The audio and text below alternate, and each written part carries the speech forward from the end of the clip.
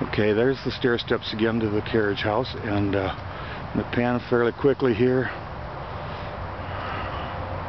Uh, you can see the asphalt paving here that was probably put in later on in its life, possibly even by the treatment center. And this is the what they write as the circular drive, I believe.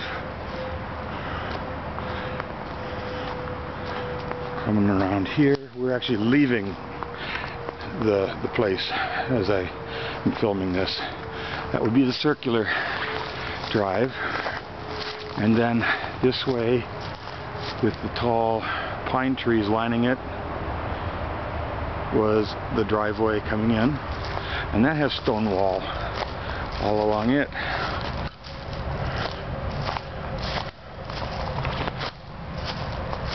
There's more of the stone wall, and in the far end, we're this is continuation of that curved stone wall that uh, started this piece.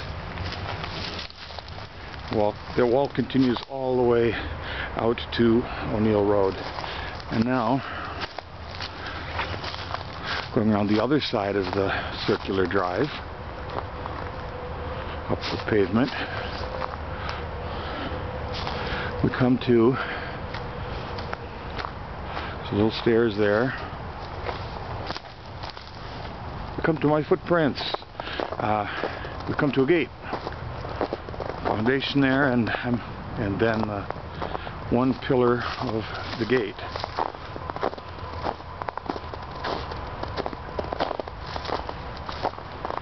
With more stone wall. And heading down that way that would be where I believe the barn is there's a pond down there where they could have watered them. There's a foundation there's a gate uh, with some barbed wire so that was probably the dairy farm